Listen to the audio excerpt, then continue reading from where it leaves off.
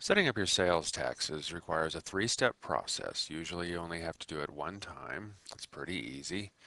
We're going to go to lists. The first thing that we're going to do is tell the computer what our taxing authorities are. Now here in our district we have a state tax, so I'm going to set this to be the oops, C-O-L-O-R-A, Colorado Department of Revenue. And I'm also going to create a Lakewood Department of Revenue because we have to pay the city tax separate to the state, county, and local taxes. I don't actually need a separate county Department of Revenue or local Department of Revenue. I'll go ahead and save those changes. The next step is to define the actual tax rates. So we come into the details and for the state tax, I'm going to modify this. We're just going to change that from state to Colorado. We actually write the check to the Colorado Department of Revenue. The tax rate in this area is 2.9%. So this is already in percent. You don't have to put in 0.029. It's just 2.9%. We'll save that change. The next thing we're going to do is put in our city tax, modify this, and we're going to call this Lakewood sales tax. It is actually paid to Lakewood, and in our case it is 3%. Save this. Now here we do have a county tax, so I'm going to modify this and I'm going to say that this is our county we're in is Jefferson and we actually pay the Jefferson County tax to the Colorado Department of Revenue and then they break it out. And the Jefferson County tax in our area is 1%. So I'll save that change. And finally, a local tax. And you can create multiple different taxes. Uh, for example, you might have a transit tax or a sporting tax or you know lots of different things.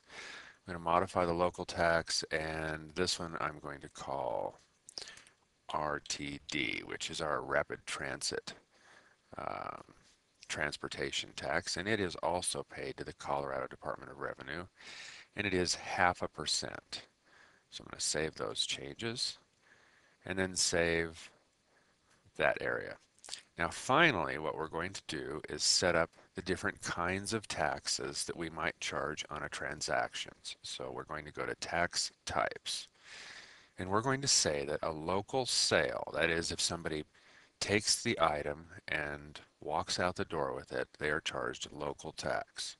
And for local tax, they will be paying Colorado, Jefferson, Lakewood, and RTD tax. All of these options are ticked. For out-of-state sales, they're going to pay none of these options. For an in-state sale, where somebody buys the piece and asks us to ship it to them, within the state of Colorado, but outside the Lakewood area. They will pay Colorado tax, but they will not pay the Jefferson, Lakewood, and RTD tax. Once we're done with these, oh, there is tax-free. Unknown is usually not used. It's put in there so that um, you can just handle things like uh, what happens if it's being shipped overseas and check with your accountant on that. Um, wholesale is different than tax-free. Tax-free is to like a church or a um, tax-free institution. Wholesale is to another dealer. Okay, I'm going to save those changes. And that's it for setting up sales taxes. To just quickly check the tax, I'm going to go to a new sale. I'm going to sell, just with a quick sale, I'm going to enter a piece called junk.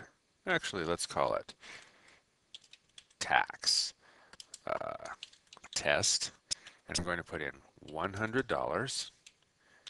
Notice that down below, the taxes that are computed for a local sale, you could change the tax rate if you choose to.